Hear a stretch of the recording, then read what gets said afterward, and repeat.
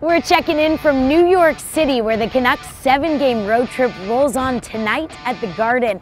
And a lot happened last week, so let's take a look back. Here's Ian Cole with a long wrist shot. Score! I think Pettersson might have tipped it. The team kicked off the month with a win over Ottawa.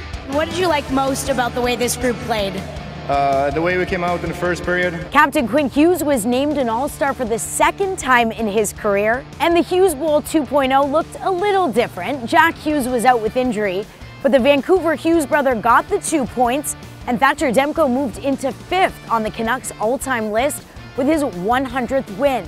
The NHL All-Star fan vote is now open, and you can help send Quinn's teammates to Toronto too. Vote online at nhl.com forward slash vote or by using X slash Twitter.